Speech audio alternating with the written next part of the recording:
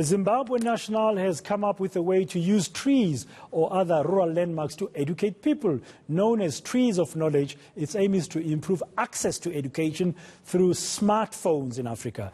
A tree or a rural landmark can be used to broadcast a Wi Fi connection, providing access to preloaded educational content. The brain behind the idea, Academy of Robotics CEO and founder William Sachiti, based in London, and joins us now via Skype.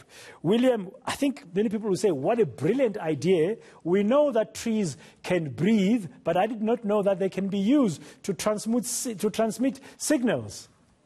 Good morning. Firstly, it's a pleasure to be here this morning. Uh, yes, well, this is a bit of a wild idea I had because um, I've seen the progression of technology and how it gets cheaper and cheaper, and we can fit really large computing into such a small form factor. So I realized that the biggest problem to education is um, you can get educated very easily via the internet, via watching uh, videos online, be this through YouTube or some other online course system. So in Africa, we just don't have that level of connectivity, which is super fast broadband constantly like we do here. So it came to me that why don't we take advantage of very small computers for the benefit of your viewers? When I say a small computer, I mean this is as powerful as most powerful laptops today.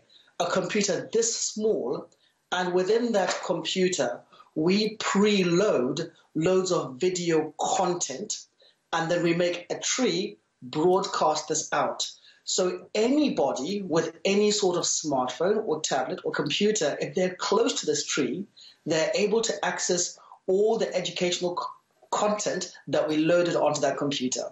And that's the general concept. Now, is a concept that that little computer will sit on a tree?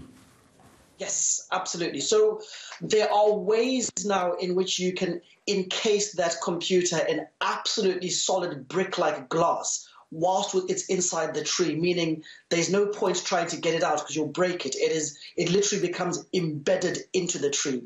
So yes, we put it into the tree, but with a power source that's designed to last about a year and we embed it right into the tree so that it can't get really stolen or it will be protected from the elements. Now, how far are you in, in, in, in, in making this a reality?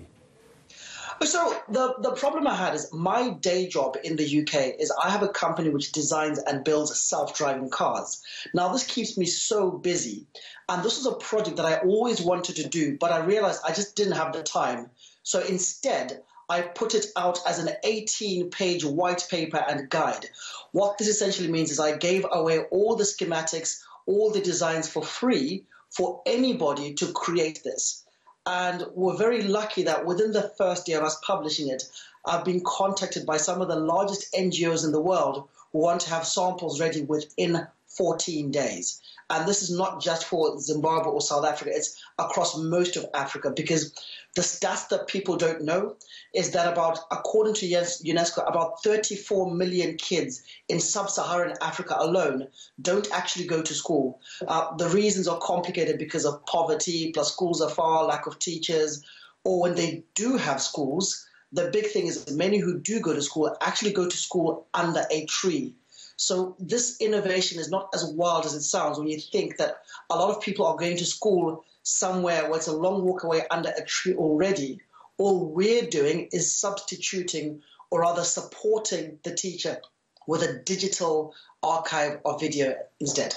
Okay, no, thank you very much. Wonderful idea. Hopefully, those NGOs will be able to implement it. Thank you, William Sachiti, Academy of Robotics CEO and founder, talking to us via Skype from London.